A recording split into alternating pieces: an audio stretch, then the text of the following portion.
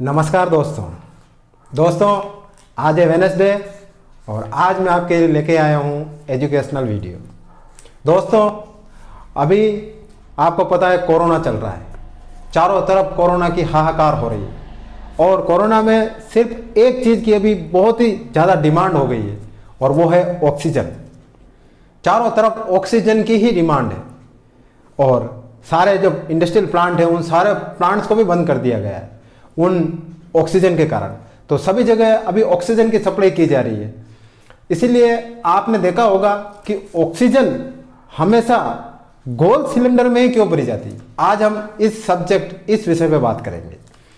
चौकोर पात्र में ऑक्सीजन क्यों नहीं भरी जाती? है आपने एलपीजी गैस देखी होगी, कोई सी भी गैस देखी, कोई सी भी लिक्विड गैस होती है, सिर्फ़ और सिर्फ़ गोल आकार के पात्र में ही क्यों भरी जाती है? आज उसके बारे में अपन बात करेंगे।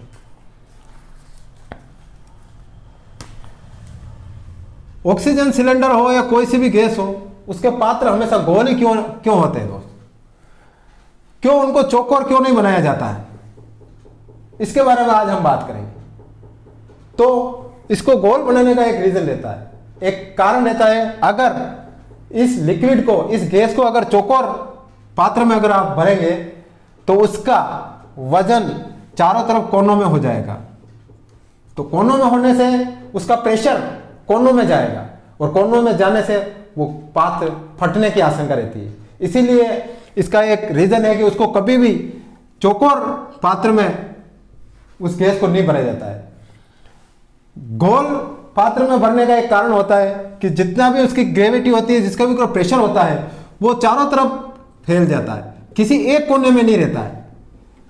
तो उसका जो प्रेशर है, चारों तरफ़ डिवाइड हो जाता है। बीच में साइड में, आप ये देख रहे हो, चारों तरफ़ डिवाइड हो जाता है। तो उसका जो बैलेंस है, बराबर रहता है। उसको अगर आप एक जगह से दूसरी जगह कहीं अगर ट्रांसपोर्ट करके भी अगर ले जाते हो ना तो उसकी जो ग्रेविटी है, उसका जो समतल लेवल है, वो बराबर रहता है। गाड़ी या ट्रक है ट्रक में कहीं पे भी लोड हो गया, अगर ऑक्सीजन सिलेंडर जाते हैं तो उस ट्रक का जो ग्रेविटी है, वो समान रहती है। उसमें एक्सीडेंट होने का चांसेस बहुत कम होते हैं। इसीलिए इसको हमेशा गोल पात्र में ही भरा जाता है दोस्तों। इस चौकोर या किसी अन्य पात्र में उस लिक्विड गैस को अपन नहीं भर सकते।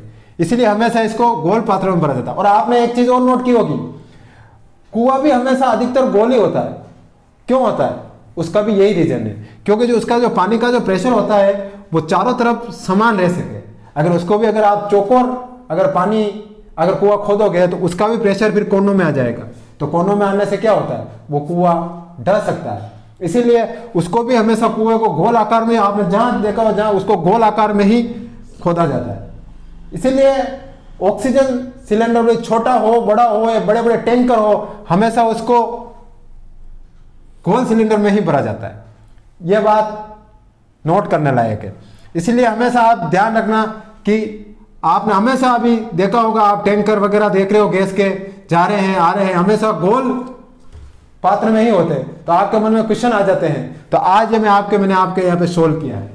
इसी के साथ दोस्तों आज जय नमस्कार।